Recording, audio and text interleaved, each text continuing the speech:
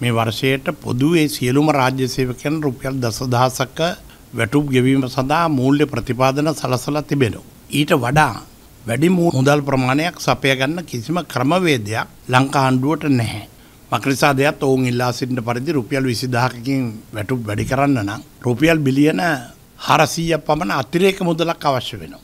මේ අතිරේක මුදලක් සපයා ගන්න නම් අඩුම තරමේ වැඩ්බද්ද තව 121 දක්වාවත් ඉහළ නංවන්න සිද්ධ වෙනවා. මොකද සියලුම රාජ්‍ය සේවකයන්ගේ වැටුප් විශ්‍රාම් වැටුප් අස්වැසුම් ඇතුළු සහනාධාර පොලි වැනි පුනරාවර්තන වියදන් දැරීමට ප්‍රමාණවත් රාජ්‍ය ආදායමක් නැහැ. බදුගෙවන ජනතාවගේ මුදල් වලින් තමයි රාජ්‍ය සේවකයෝ සියලු දෙනාට වැටුප් ගෙවන්නේ. තවදුරටත් රජයට මේ විශාල පීඩනයට පත්වෙලා තියෙන ජනතාව මත බදු වැඩි කරන්න කිසිසේත් ආණ්ඩුවට පුළුවන්කමක් නැති බව ජනාධිපතිතුමා අවධාරණය කළා. මුදල් අමාත්‍යාංශයේ භාණ්ඩාගාරයේ ලේකම්තුමත් ඉතා පැහැදිලිව එවැනි වැටුප් වැඩිවීමක් ගෙවන්න මේ වර්ෂය තුලදී මූල්‍ය ප්‍රතිපාදන නැති බව පැහැදිලි කරා.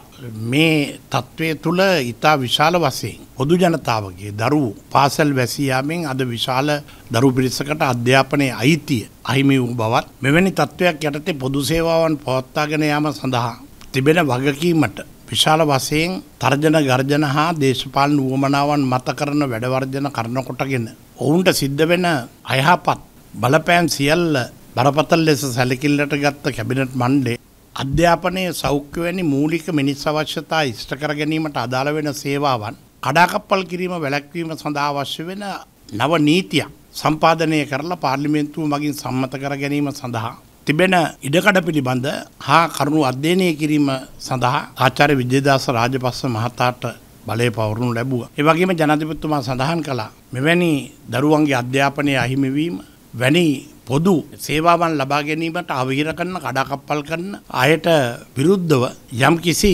නීතිමය වශයෙන් පිළිසරණක් ලබා ගැනීම සඳහා නීති කෙටුම්පත් සකස් කරන්න හැකියාව තිබෙන බව නීතිපතිතුමා විසිනුත් ජනාධිපතිතුමාට කරුණු දක්වලා තිබෙනවා. ඒ නිසා අනාගත කාල පරිච්ඡේදය තුලදී කිසිසේත් ඉටු කළ නොහැකි ඉල්ලීම් මහා ජනතාවට අසාමාන්‍ය බරක් පටවලා තවදුරටත් කරන්න බැරි දෙයක් ඉල්ලා සිටියට ඒ කළ නොහැකි නිසා. එවැනි දේ තුළින් නිරායුධ අවිහිංසක පාසල් දරුවෝ ලක්ෂ සංඛ්‍යාත පිරිසක් රෝගීන් රෝහල් වල පිරිසක් හා අනික් පොදු මහජන සේවාවන් ලබාගන්න පිරිසක් පීඩාවට පත් කරන්න නැතුව ඔවුන් ආරක්ෂා කිරීම රජයේ වගකීමක් හා යුතුයකමක් ලෙස ලංකාණ්ඩුව සලකනවා.